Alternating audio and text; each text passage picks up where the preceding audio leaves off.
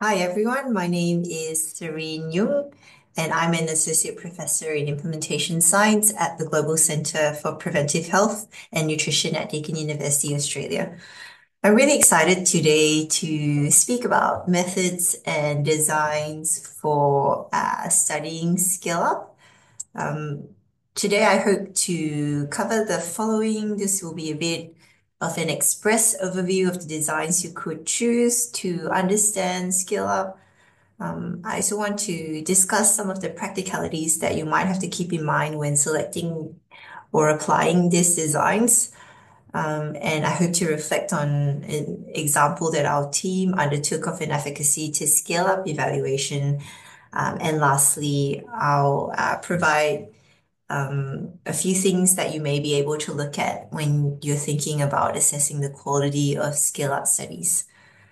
I'm sure you all appreciate that the study of scale up uh, is often opportunistic and things can happen that are out of the control of a researcher or research team. So there's not a one size fits all approach. I hope by the end of this, it gets you thinking about how you may be able to apply such designs to answer your particular scale up questions within your context uh, and what the practicalities are of understanding this in the real world. Before moving into the designs, I thought it would be worth uh, defining scale up again. I know you're all familiar with these definitions, but being really explicit um, upfront is really important in thinking about design right up and helps you to really be sure that you're studying scale up. Uh, at its core, uh, the study of scale up um, involves a program, uh, intervention, or a product that has been tested at a smaller scale. Uh, looking to both expand and replicate that product.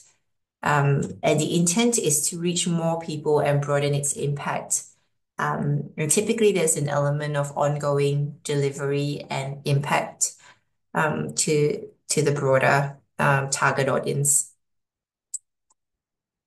Uh, once you you have identified that you're studying scale up, uh, the first thing really to be sure about is to be clear about your scale up question, as this will guide your selection of study designs. And what do I mean by that? McGinty um, and colleagues, they um, provide a really useful guide for thinking about questions and study designs. And briefly, your questions might be a descriptive one where you're looking to describe perceptions um, or available resources for scale up. Uh, you might be interested in predictive or association questions. What factors might predict successful scale up or influence scale up? Or are you interested in causal questions? Typically, there's evidence of efficacy or effectiveness when you're looking at what strategies are useful to improve um, outcomes. Uh, really defining this question is so important so that you're not employing study designs that are um, inappropriate or may not be needed. Often there will tend to be more than one question, um, and articulating this as clearly as possible helps you with thinking through what you need to do and what outcomes you may need to collect. Uh, in the next couple of slides, I will outline some study designs to answer each of the possible questions. I won't go through the characteristics of this in detail. Um, I understand you've already been introduced to implementation science studies in module five of the eHub fundamental programs. Uh, but I will um, address some of the research questions you might be able to answer and pull up um, some of the designs that may be a bit newer to um, some some in the room. Um, and so the first type of question you might have are descriptive questions. They help to uh, characterize the scale up process uh, or understand stakeholder perceptions to scale up. Um, they're usually hypothesis generating and are describing um, scale up implementation at one time point. Uh, so descriptive studies don't usually have a control group as you would be aware. Um, some of the questions that you might answer with some of these designs um, what are the barriers to scale up? Uh, what are preferences for strategies to support scale up? What's currently being done um, to support scale up? And you might use qualitative, um, quantitative surveys, document reviews, mixed methods approaches to answer some of these questions. I will point out the application of some of the dimension reduction approaches, which are really statistical approaches to identify how things group together or cluster. Um, so in scale-up, this might be particularly useful uh, because you know characteristics or strategies are not often delivered in isolation, so there might be grouping or certain combinations that go together, and some of these approaches can help you look at similar characteristics or structures that can uh, promote scale-up um, once an intervention has already been scaled up. Um, so that might be something useful to consider when you do see an intervention being scaled up and there are data points to um, consider how they might cluster together. Um, for predictive or association questions, uh, they look to assess what structures, strategies, factors can predict scale-up outcomes. Uh, these studies are usually also uncontrolled.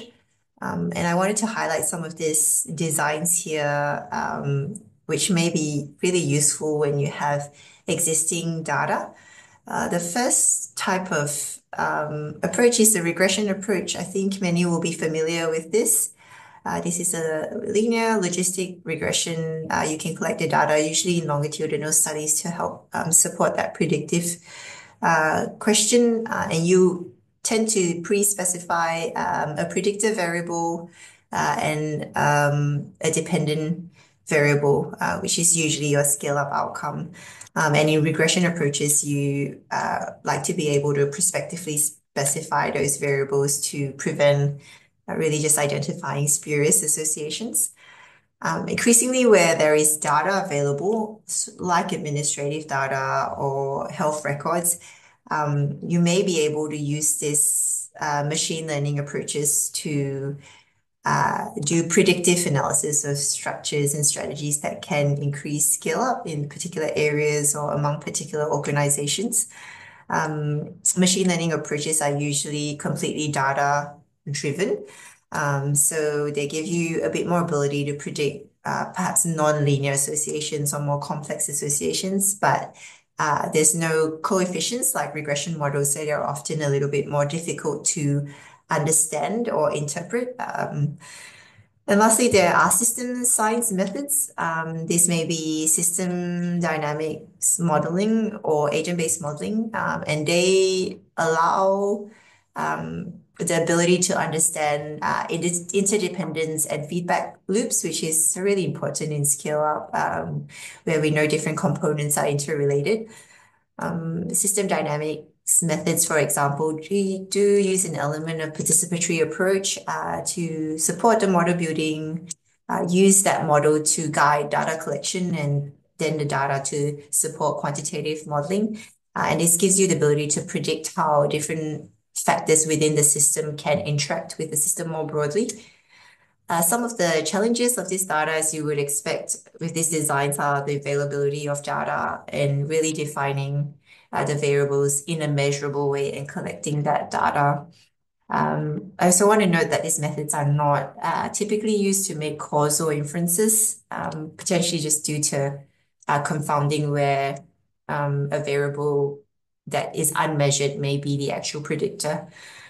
Um, and clearly, there's some advanced methods um, here as well. It's oh, often important to check in with experts in the area and a statistician uh, prior to using some of these methods. And lastly, um, I want to cover causal questions, and I think these are the designs that perhaps we may be most familiar with. Um, so causal questions are those that seek to establish causalities, not associations. Um, they give us evidence of efficacy or effectiveness. Um, and they can do that by establishing temporality, where the strategies or the structures need to be in place prior to measuring follow-up outcomes. Uh, there is the randomized control trial, um, and also non-randomized experimental trials. Um, randomization is useful to help address some of the confounding that uh, we spoke about in the previous uh, study designs, but they may be really challenging in scale-up designs. So you may need to consider randomizing um, just the timing of scale up or just different jurisdictions, there might slightly that a clustered design uh, will be needed if you're able to randomize. Uh, there are other non-experimental methods as well, natural experiments, time series um, designs, non-randomized methods, I mean, um, time series designs, um, and different types of statistical uh, designs that can help address some of the confounding in the non-randomized designs. There also other things to consider when you're selecting scale-up designs, and these are covered in more detail in other lectures. Um, but um, I think it's important that I uh, bring them up here, uh, as really the selection of study design um, needs to take into account some of the practicalities and challenges with studying scale-up. So they're likely to influence your design decisions. Um, so most um, scale-up efforts in health are unplanned. So when you're thinking of designs, there's value on really understanding what's being scaled up, um, perhaps using a more flexible approach, descriptive design, to still answer some questions of interest while you know, noting some of the limitations of some of those designs.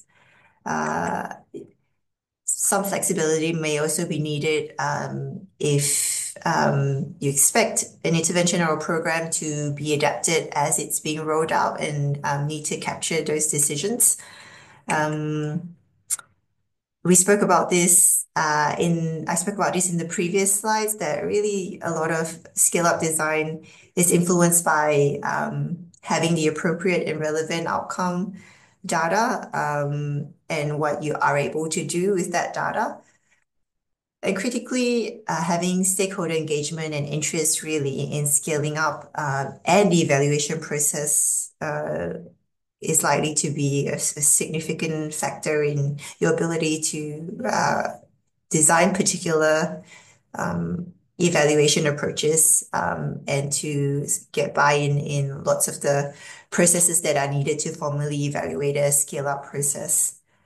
Um, And lastly, um, just reinforcing a point that I brought up earlier, there are often challenges with getting controlled evaluations if scale-up um, encompasses an entire jurisdiction, um, or there's no opportunity to identify control participants prior to a program being rolled out.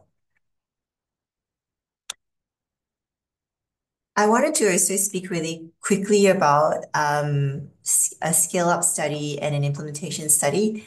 Uh, so in the literature, um, there have been different conceptualizations of scale-up studies. Some have used uh, numbers, for example, more than 50 sites included, um, or an entire jurisdiction, whether it's local, state, national, uh, to conceptualize scale-up. Um, Others have also drawn in the idea of embedding and a shift in systems that uh, mean a more permanent embedding of a program into practice, uh, regardless of the size. Um, and there's this helpful diagram here by uh, Heather McKay and colleagues, which highlights that scale-up sits amongst a continuum. Um, and what they propose here is, as we continue to evaluate scale-up, you move away from focusing on uh, measuring health outcomes and delivery of the core components of the intervention to looking at how well implementation strategies are delivered, um, and measuring the extent in which the intervention is delivered to the target population. And so what this might look like is you may no longer closely look at the health data, but you might look at how well Uh, some of the training um, to deliver a program is delivered. Um, and instead of understanding whether the core components of an intervention is delivered, um, you might look at um, just how people report adopting a particular program or intervention. I wanted to give a quick example of uh, my team's experience studying scale-up. Um, initially, we developed an online menu planning um, website that supported childcare providers to plan menus consistent with the nutrition guidelines. Um, in our efficacy evaluation, we undertook a hybrid study to look at efficacy of the implementation strategies as well as impact on child health. Based on really positive findings from both of those, we were interested in understanding how to get the intervention out more broadly to childcare services uh, in Australia. Um, so here we undertook a descriptive study to examine which factors influenced um, adoption and scale up of a particular program. Uh, lastly, we ran a pilot non-randomized control trial to study um, what increased adoption of the intervention uh, and whether the scale-up strategy that we designed um, did increase adoption of the program. And some of the things that influenced our scale-up selection was a real appetite by funders to scale up the program, uh, the availability of analytics from uh, the online program to provide indication of adoption, um, and the staggered rollout of the program that let us have also a concurrent control group. Uh, on this slide, I just have a couple of things that you might want to consider when looking at scale up studies. Um, they align with a lot of things that I've spoken about previously already. Um, and I want to highlight that um, whatever decision you make, it really just is important to justify why uh, in terms of uh, bring readers along so that your decisions can be understood more broadly. Um, to summarize, uh, have a clear scale-up aim. Um, this will really inform study design selection. If you have a descriptive scale-up study, you do not need to run a randomized control trial. Um, there's often a need to straddle really practicalities and opportunistic scale up with optimal study designs. And be sure to just keep a really close record of any justifications, any design decisions uh, you make when studying scale up. Um, this is some of the references I drew on. In particular, the McGinty study is really worth um, having a read of. Thank you very much.